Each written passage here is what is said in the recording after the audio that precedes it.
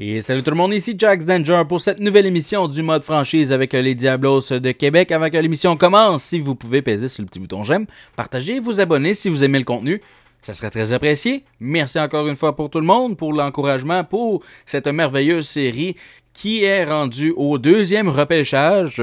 Alors, on se prépare pour le deuxième repêchage alors que lors des séries éliminatoires, on a été humilié par l'équipe qui va perdre en finale contre les Dinos de Brassard qui vont remporter votre coupe québécoise. Les euh, Diablos, eux autres, eh bien, se sont écroulés. Euh, n'ont pas performé. Trois défaites pour perdre la première ronde contre nos rivaux, les Citadelles de Québec. Donc, ce qui veut dire qu'on est rendu à la saison morte. Et la saison morte risque d'être forte, intéressante. Alors qu'il y a des joueurs qui vont quitter, il y a des joueurs qui vont avoir des rôles plus importants la saison prochaine. Alors juste de même, un, Martel, ça va quitter. je ne m'ai pas donné assez des bons services pour mériter un contrat de 9 millions. Oubliez ça. Euh, Jovanovski a monté en général, est rendu 78 de général, donc ça c'est clair, net et précis que c'est super intéressant. Euh, Gignac aussi monté en général euh, après son, excellente saison. Euh, Perron est rendu 76. Witkowski, on peut dire au revoir, il n'a pas bien fait en série éliminatoire. Il nous a coûté des matchs, a pris des pénalités ridicules. On regarde en série, en 3 matchs, 11 minutes de pénalité, moins 3, aucun point. Joe By, Witkowski, pas besoin de toi. Euh, Vigilante, toujours un 73 de général. OG, j'aimerais bien le signer, sauf que je ne paierai pas du 8 millions pour un joueur. Euh, oh là, si on descend par exemple. Ok, ça si je descends par exemple, c'est clair et net et précis. Euh, c'est quand est-ce que. Ok, je... non, je ne signerai pas autant d'années que ça. sauf qu'un an, il veut signer avec nous autres. Donc ça, c'est clair, net et précis que c'est une signature que je vais faire à ce moment-là. Un an, 6 millions. Je sais que c'est sur le troisième trio, sauf qu'on a besoin de dépenser de l'argent. Il faut garder ça en tête. Il y a beaucoup, beaucoup de joueurs qui ont des contrats recrues. Donc, on doit dépenser de l'argent si on ne veut pas euh, être en dessous du... Euh, du euh, pas du plafond, mais du plancher salarial. C'est ça que je voulais dire. Et euh, même chose pour Marc-Olivier Roy. Donc lui, si on monte à deux ans, c'est 7 millions. Un an seulement, il veut 5 millions. Puis on est capable sûrement d'aller à 5.4. On va y aller à 5.4, donner un petit peu plus d'argent. C'est un rabais pour lui qui avait gagné 7.5 la saison dernière. Donc ça, c'est des joueurs qu'on va vouloir garder. Ils veulent pas trop cher. Martel, à ce moment-là, si on descend les années, c'est-tu la même chose? Oh non, c'est 1 million. C'est 9 millions, c'est vrai, j'avais regardé ça. Euh, on va regarder du côté des gardiens de but à ce moment-là. Euh, Baribo, qu'est-ce que tu demandes? Euh, non, non. Un an. Ouais, un an. Un an, deux ans? Deux ans. On va le signer deux ans à 7.4. 7.4, ouais. on peut même descendre un peu. 7.2. On va essayer deux ans, 7.2. Je pense que ça pourrait être un beau petit contrat pour lui. On a Jonathan Lemieux qui, euh, qui a très bien performé la saison dernière comme gardien numéro 2. Il va sûrement monter en général encore. Fait que on va garder un œil là-dessus. Sauf que deux ans pour euh, encore une fois, c'est pour dépenser de l'argent pour pas être au plancher salarial. Comme là, notre marge est de 19 millions, même 20 millions presque. Et euh, Martel, comme Martel, on sait que c'est 11 millions qui se libèrent. Donc, on va garder de l'argent pour les agents libres. Qu'est-ce qu'il va y avoir de disponible? Donc, là-dessus, repêchage. Deuxième repêchage de la Fédération québécoise de hockey. Euh, on a Waterloo et les Warriors de Halifax qui ont monté drastiquement euh, lors du, de, la, loterie de la Ligue nationale. Je pense que les Water, les Huskies étaient 11e, ont terminé premier. Les autres étaient 10e, ont terminé euh, deuxième. Et euh, malheureusement, ceux qui ont perdu vraiment, c'est les Aigles de Louisville, qui eux autres étaient premiers au total. Sauf qu'ils ont, descendu, ils ont descendu troisième au total finalement. Donc, nous autres, c'est sûr et certain que ça pourrait être intéressant. Waterloo sont prêts à échanger leur choix. On peut regarder, sauf que vraiment les joueurs qui ont de la valeur, c'est des joueurs que je veux garder. C'est le futur de cette équipe. Donc, non, merci. On n'a pas de joueurs qu'on peut se débarrasser nécessairement. Donc, non, on va garder nos affaires. Hmm, on va garder. Juste regarder quelque chose. Ça. On est capable d'avoir.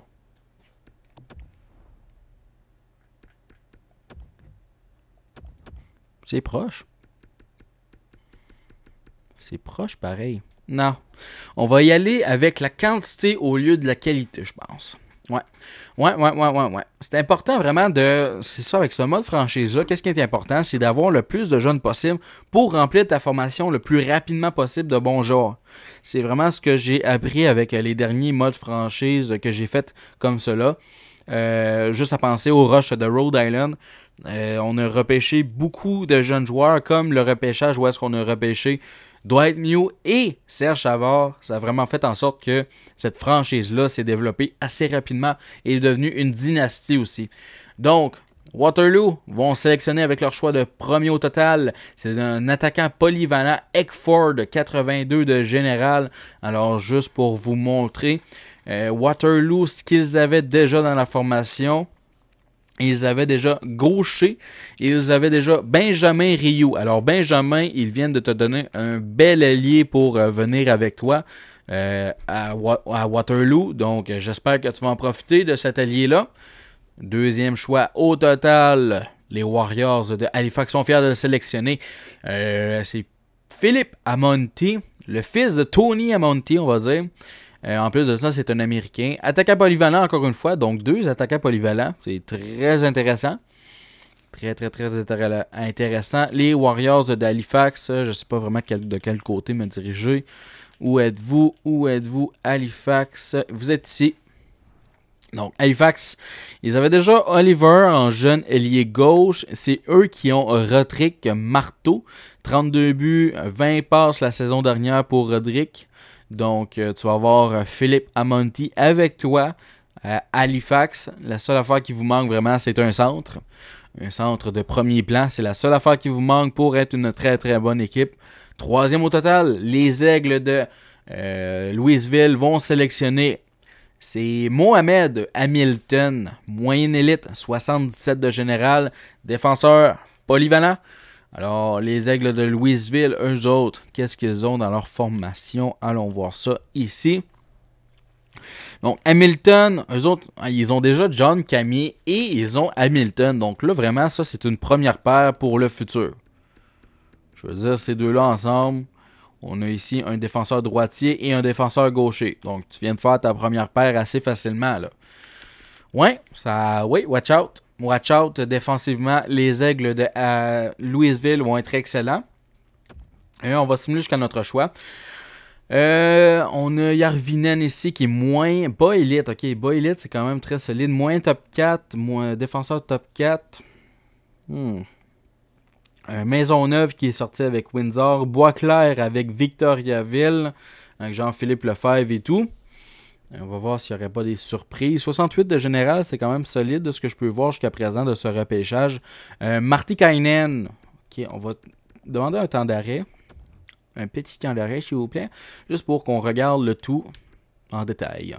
Beauregard va être sélectionné par les Dynamos de Shawinigan. Ok, Solis ici.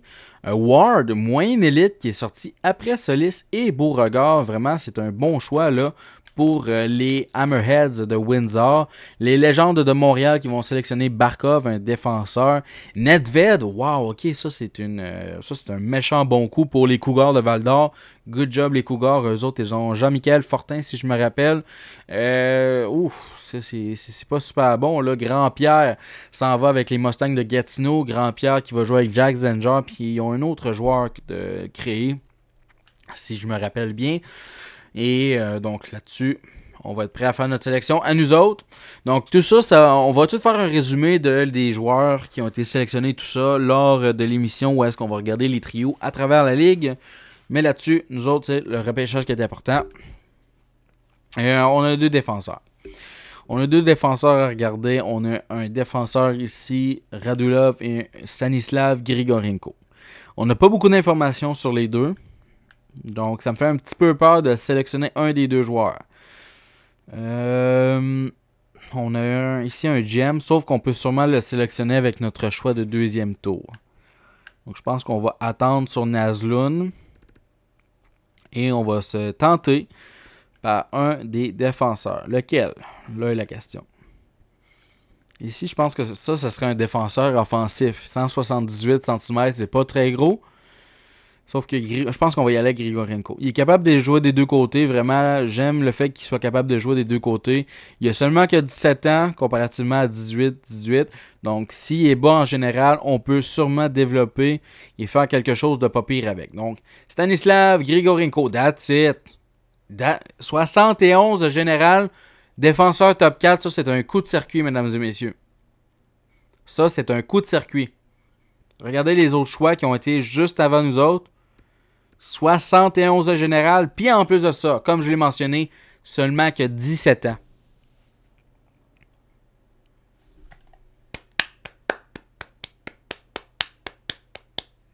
Je vais m'applaudir. Je vais m'applaudir. Quel bon choix du directeur général. On va voir Radulov. ben, les deux. Hein. Les deux sont identiques. Hein. C'est vraiment ça. Sauf que le nôtre est capable de jouer des deux côtés. capable de jouer à droite, capable de jouer à gauche. Et lui, même chose. Euh, ben non, lui, il joue, juste à gauche.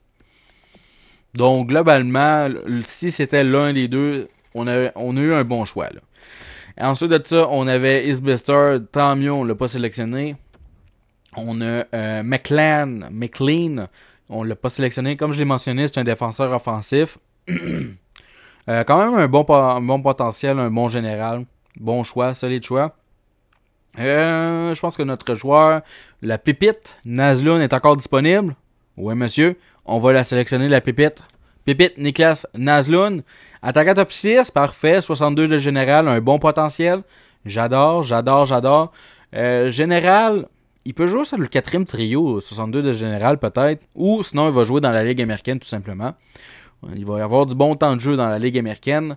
On va sélectionner ensuite de ça 58e au total on a l'armour des Lille. Sauf que nous autres, on va sélectionner le joueur. Oh, par exemple ici, défenseur à bas top 4. Hmm, non. On va sélectionner le gardien de but qui est médium élite. On le sait, il est assuré médium élite. Il est ici, c'est une autre pépite. Donc, Colton Ling, bienvenue. 47 de général. On a du travail à faire. On a beaucoup, beaucoup de travail à faire avec, sauf qu'il est relativement jeune, 18 ans. On verra. On verra. Sinon, c'est de la monnaie d'échange. Hein, si ça fait pas la job, on peut peut-être l'échanger avec sa valeur. Ouais. Globalement, très satisfait. Très, très, très satisfait euh, de ce repêchage. Nazlun, Grigorenko et Ling, tous bienvenus dans la formation. Ensuite de ça, on s'en va chercher en 89e au total. On avait Weimer ici déjà là, qui était un meilleur gardien de but, 19 ans par exemple, un an plus vieux. Mais ouais, ça aurait peut-être pu être un meilleur gardien de but. Sauf qu'on peut pas toujours revivre dans le passé. On doit avancer, on doit regarder pour le futur, on doit regarder pour notre prochain choix, au lieu de regarder les choix des autres. Euh, dans date, je vois pas grand chose d'exceptionnel. Je pense qu'on va y aller ici avec le défenseur polyvalent Boris Chubarov, un Ukrainien. Voyons voir. Moyen septième défenseur, un petit peu vieux par contre. Si on est capable de trouver le temps de jeu en Ligue américaine, peut-être que ça peut donner quelque chose. 120e choix au total. Avec le choix de 120e choix. Patrick Tenkrat. Euh, c'est un aile gauche, 17 ans. Il est jeune. Ça, ça pourrait être intéressant. Un jeune de 17 ans. Euh, ouais, je pense qu'on va y aller avec lui. On a Dalco aussi, qui est un défenseur. Je pense qu'on va y aller avec l'attaquant ici. Le Tchèque, Patrick Tenkrat. Encore une fois, si on est capable de trouver du temps de jeu dans la Ligue américaine, ça peut être pas pire. Au moins, c'est pas un attaquant top 6 euh, à échelle comme on voit présentement, qu'il y a un peu partout. On va y aller avec le défenseur ici. Il y a Prokorkin, c'est le joueur qu'on le sait un petit peu plus. Un peu plus d'informations. Bas septième défenseur, comme les deux autres auparavant.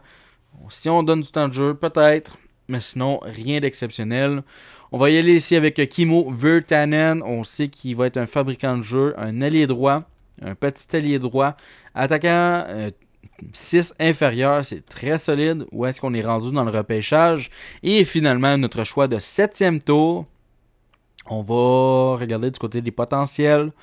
Voir s'il n'y a pas quelque chose. En fait, il y aurait peut-être trois joueurs. Hmm.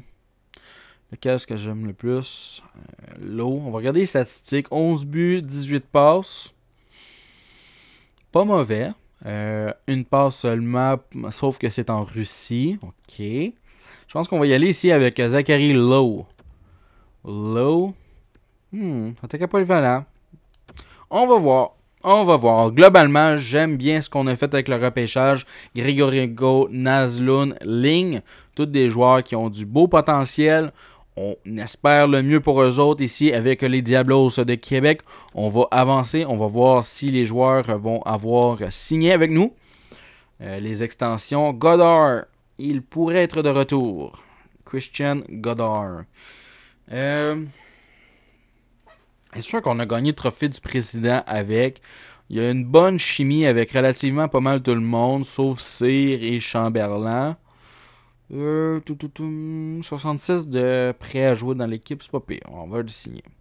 On va le signer, peut-être pas 5 ans, peut-être un 2 ans, je pense que ça pourrait être pas pire. Ouais, 2 ans. 2 ans, puis on va donner un beau 3 millions, mon ami, mon chum, mon ami, mon chum, et voilà. Euh, bon, les recruteurs, eux autres, on va tous les re-signer. Ça me tente pas trop de négocier avec ça. Ils ont fait de bonnes jobs. Je veux dire, on a eu des bonnes sélections, des joueurs qu'on on avait un peu d'informations. Je trouve qu'on a fait une bonne job. Fait on va les re-signer toute la gang. Let's go, boys. Michel Fata. Lui, D. Acton, c'est genre David. Dominique. Ah, fuck. Pas réussi. C. Barflin. Euh, Christian. Barflin. Curtis. Ah. Curtis. S. Primo. Samuel? Stan. Stan Primo. K. Backstrom. Ça, c'est genre Christian. Ouais. Christian? Kim? Ah, man. Oh, je t'approche. Je t'approche, je t'approche, je t'approche. Ça, c'est un de mes jeux préférés. Essayer de trouver quel est le nom. Derek Baribeau a décidé de prolonger. Même chose pour OG au roi aussi. Donc tout le monde a décidé de dire oui à l'offre du directeur général, ce qui nous positionne présentement avec une marge de 34 millions. On a Danick Martel qui voudrait revenir avec nous autres, mais je pense qu'on va laisser faire. Il demande un petit peu trop cher à mon... Ah, il a descendu son prix par exemple. 7.5? Hmm. Si tu dis oui à 7.5, je pense qu'on va être d'accord. Witkowski, Chobay, mon grand, j'ai plus besoin de toi tu ne fais plus partie des plans. Euh, Grigorenko, c'est clair, net et précis que tu as un nouveau contrat. Et voilà, mon ami, à fun. Euh, Crystal, Crystal, Crystal, Crystal. Il a descendu son prix, donc on va lui donner. Il a quand même fait des bons services avec nous autres. Carlberg, il a un bon potentiel relativement, donc on va essayer de le développer encore une fois. Euh, toi, oublie ça. Au revoir, bonne nuit, à la prochaine. Euh, Tanstrom, bon potentiel encore une fois, 19 ans seulement, j'ai besoin de toi. Phillips, on peut dire au revoir. Euh, McCartney, on peut dire au revoir. On va laisser du temps de jeu vraiment à des joueurs un peu plus euh, avec un bon potentiel comme Nazlun. 62 de général, ça peut sûrement donner quelque chose. Vertanen, let's go. Euh. Non, Shubarov, je pense qu'on va le laisser. Hein, il a 19 ans. On va l'amener, puis on va essayer de faire euh, jouer plus de matchs possible. Boris, eux autres, on va les laisser par exemple dans leur ligue respective. Et gardien de but, Baribo, comme j'ai mentionné, aura signé. Euh, Mark Cannon a monté beaucoup en, général. Pour le moyen partant. Ouais, ça c'est un beau contrat, ça. Ouais, deux ans, that's it.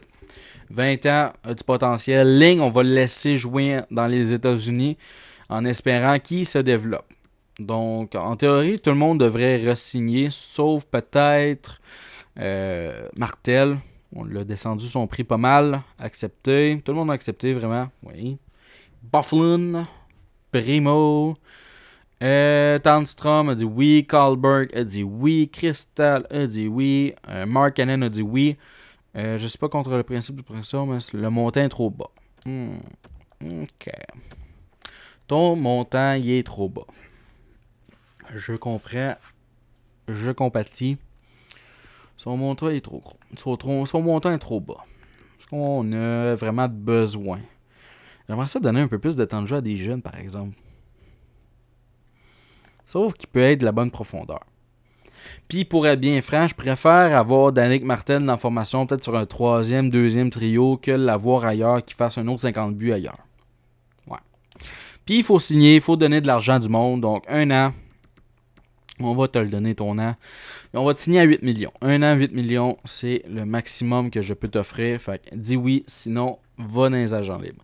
Alexandre Mathieu a dit oui. Euh, Michel Fatta a dit oui. Et voilà. Et voilà.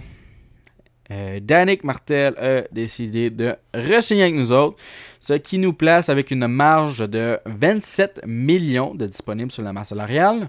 Euh, et c'est pas mal ça. C'est 27 millions de disponibles sur la masse salariale.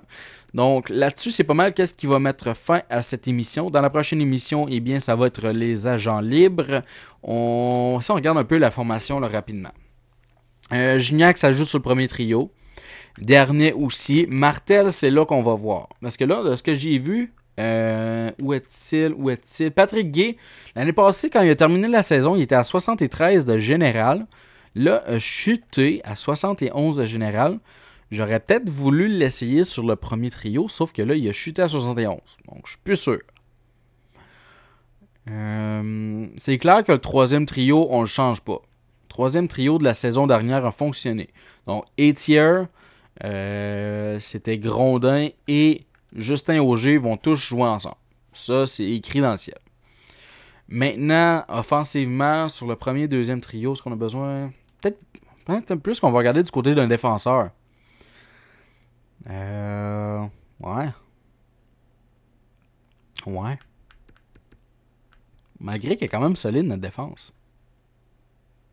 Hmm. J'essaie de penser. Il n'y a pas un défenseur qui signe avec un contrat professionnel. C'est quand même très drôle. Quand même très drôle. Hmm. C'est parce que Martino, Noël, ça peut jouer, là. C'est solide. On va regarder ça dans la prochaine émission. Euh, je suis comme pas trop sûr. Faut dépenser de l'argent donc. Euh, peut-être qu'on va juste donner de l'argent à un joueur pour qu'il joue dans la Ligue américaine, un gros contrat de 15 millions, juste pour qu'on euh, arrive au plancher salarial. Parce que je sais pas où est-ce qu'on pourrait réajouter vraiment. Perron, ça a été un excellent joueur de deuxième trio. Euh, Gignac joue sur le premier. Premier va sûrement jouer sur le deuxième. Roy sur le deuxième aussi. Euh, Vigilante, fait D'après moi, on garde la formation comme l'année dernière. Il faut juste. Faut juste se présenter en série éliminatoire, les boys. C'était vraiment ça le gros problème. Donc, si vous avez aimé cette émission, n'oubliez pas de peser sur le petit bouton j'aime, de partager, de vous abonner. Faites toutes ces affaires-là vraiment pour avoir le plus de contenu possible. Là-dessus, on va se dire ciao bye, à la prochaine.